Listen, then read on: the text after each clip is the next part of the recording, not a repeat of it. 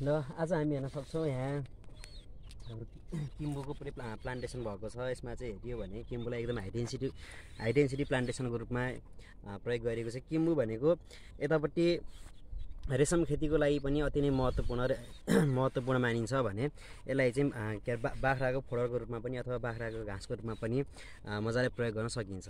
र यसलाई चाहिँ अब हामीले हाम्रो घरतिर एउ- एउटा दुईवटा किम्बु किम्बु लगाउने किम्बुको फलको लागि भन्दा पनि यस यस योबाट हामीले फलको आशा नगरिकन यसलाई घाँसको रूपमा प्रयोग गर्ने अथवा चाहिँ रेशम खेतीको रेशमको लागि प्रयोग गर्ने भने यसमा सकेसम्म धेरै सकेसम्म धेरै हाँगा आउने तरिकाले यसलाई चाहिँ प्रुनिङ प्रुनिङ गर्नु पऱ्यो अथवा सकेसम्म धेरै धेरै हाँगा आउने हिसाबले यसलाई चाहिँ काछार गर्नु पऱ्यो तपाईँले यहाँ पनि देख्न सक्नुहुन्छ। जसरी अब यो यो यो थिक भनेको चाहिँ यो मोटो भनेको सुरुको सुरुको हाँगा भयो।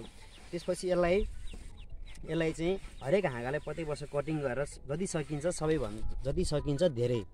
जति सकिन्छ धेरै हाँगाहरू उत्पादन गर्न सकियो भने यसलाई अ, फोडर रूपमा पनि युज गर्न सकियो र यसलाई फोडर रूपमा पनि युज गर्न सकियो भने रेशम रेशमको लागि पनि प्रयोग गर्न सकियो। र यो र यसलाई चाहिँ प्रसारणको लागि पनि एकदमै एकदमै सजिलो सजिलो विधि छ यसको लागि यसको प्रसारणको लागि। यसको लागि चाहिँ बस एउटा सेमी हार्डवुड कटिङ अथवा चाहिँ एक एक वर्ष पुरानो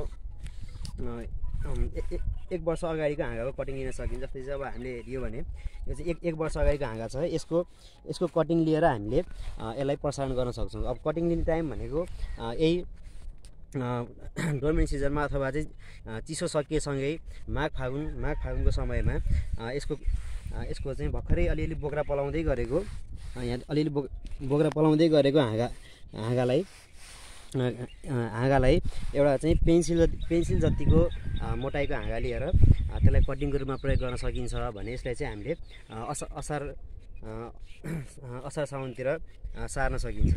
र हामीले सारेको लगभग पहिलो वर्षबाटै हामीले यसको चाहिँ उत्पादन लिन सकिन्छ। हामीले बाख्रा अथवा चाहिँ रेशम खेतीको लागि पहिलो वर्षबाटै उत्पादन लिन सकिन्छ भने।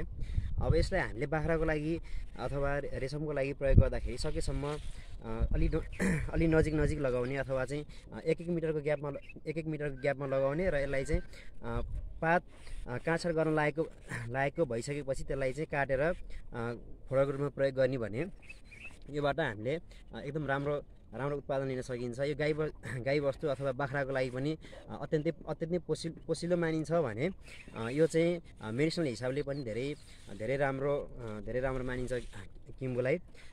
र आशा छ तपाईँहरूले पनि यसरी नै सानो एरियामा किम्बु लगाएर त्योबाट आशातीत आशातीत फाइदा पनि गेन गेन गर्न सक्नुहुन्छ। अब यसको लागि तापक्रम पनि तपाईँ एक लगभग अन एन एभरेज एक्काइस एक्काइस डिग्री सेल्सियसको तापक्रम तापक्रम भयो भने पनि त्यो तापक्रम त्यो तापक्रम एक्काइस डिग्री एक्काइस डिग्री सेल्सियसको तापक्रम हुने ठाउँमा यसलाई सजिलै कल्टिभेसन गर्न सकिन्छ भन्नुको अर्थ यसलाई चाहिँ तराई तराईमा पनि कल्टिभेसन गर्न सकिन्छ भने यसलाई चाहिँ मध्य पाहाडमा पनि मजाले कल्टिभेसन गर्न सकिन्छ। त्यही भएर यो तराई मध्य पाहाड दुवै क्षेत्रको लागि त्यतिकै राम्रो मानिन्छ भने यसले चिसो किम्बुको विशेषता भनेको किम्बुले चिसो पनि सहन सक्छ केही हदसम्म।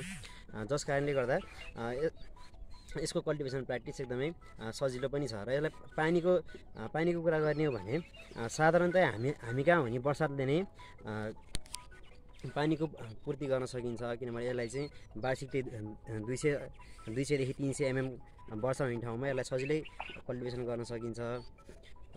र हामीले यदि किम्बुलाई अलिकति माया गर्न सक्ने हो भने योबाट हामीले चाहिँ धेरै राम्रो उत्पादन लिन सकिन्छ यसलाई चाहिँ फलको रूपमा भन्दा पनि यसलाई फलको रूपमा भन्दा पनि गाई बस्तु र बाख्रा अनि रेशम खेतीको लागि प्रयोग गर्न सकिन्छ।